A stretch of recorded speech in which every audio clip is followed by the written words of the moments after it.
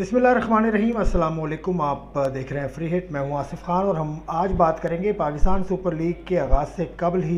एक ख़बर ऐसी आई कि एक फ्रेंचाइज के अहम खिलाड़ी और उनके एक ऑफिशियल बायोसिक्योर बबल की खिलाफ वर्जी करने के बायस वो अलग हो गए टीम से और उन्हें अब टेस्ट अपना दोबारा करना होगा और उसके अलावा तीन रोज़ का क्वारंटीन है और उसके बाद वो टीम को अपनी दोबारा ज्वाइन कर सकते हैं। अब तक की जो इतलात हैं, वो पाकिस्तान क्रिकेट बोर्ड ने जो बयान दिया, उसके मुताबिक तो उन्होंने ना ऑफिशल का नाम ज़ाहिर किया और ना ही उस खिलाड़ी का नाम ज़ाहिर किया, लेकिन ख़बरें आ चुकी हैं, नाम बाहर आ चुके हैं कि वो कौन खिलाड़ी हैं और वो कौन से ऑफिशल हैं, कौन सी फ्रेंचाइज़ है। द फ्रेंचाइज़ इस पाकिस्तान की सुपर लीग की सबक चैम्पियन टीम है, पेशावर जलमी और उसके कप्तान हैं वहाब रियाज, वो और उसके अलावा उनके कोच डैरन सेमी।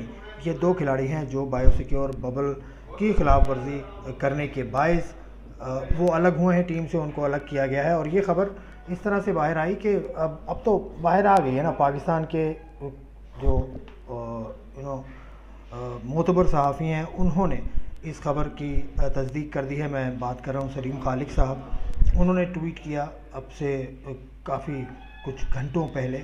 और ये ख़बर उनके तवसत से बाहर आई कि पेशावर जलमी के कप्तान हैं वहाब रियाज और उनके अलावा उनके कोच डैरन सैमी हैं। तो काफ़ी मोतबर हैं सहाफ़ी इसलिए इस बात को आ, सही तस्लीम करने में कोई मुझे तो कोई यार नहीं है कि यही वो दो खिलाड़ी हैं।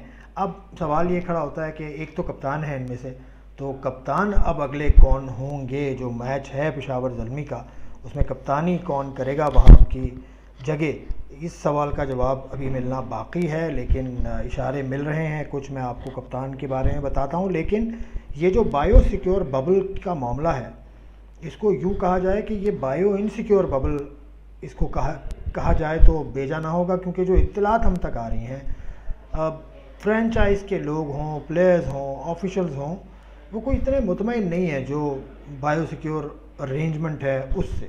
बहुत सारे लोग ये सवाल कर रहे हैं कि होटल में जहाँ प्लेयर्स मौजूद हैं, वहाँ बहुत सारे लोगों की आमद रफ्त है। उसके अलावा भी, होटल के अलावा भी जहाँ जहाँ टीम ने जाना होता है प्लेयर्स ने जाना होता है, आप स्टेडियम कह लें जहाँ प्रैक्टिस करनी होती है, वहाँ पर भी कुछ इतना टाइट माहौल, ये ख्याल किया जा रहा है कि नहीं दिया जा रहा या नहीं है। और मैं आपको ये बताऊँ कि फ्रेंचाइज के लोग हों प्लेयर्स हों, ये कुछ ख़ास मुतमिन नहीं है। इस सारी सिचुएशन से।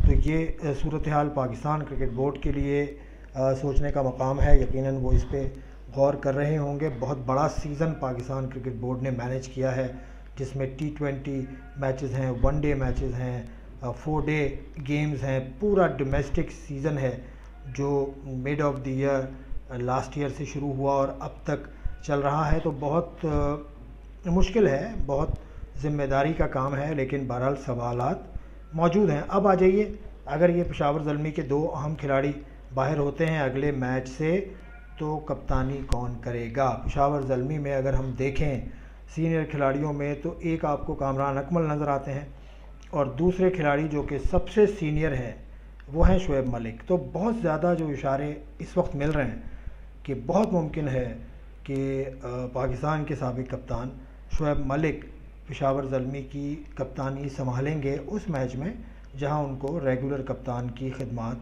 हासिल नहीं होंगी। तो ये सूरत हाल है, पाकिस्तान सुपर लीग का आगाज़, और उम्मीद करते हैं कि एक अच्छा टूर्नामेंट हो, और किसी किस्म की कोई परेशानी ना ऑफिशल्स को हो, ना खिलाड़ियों को हो।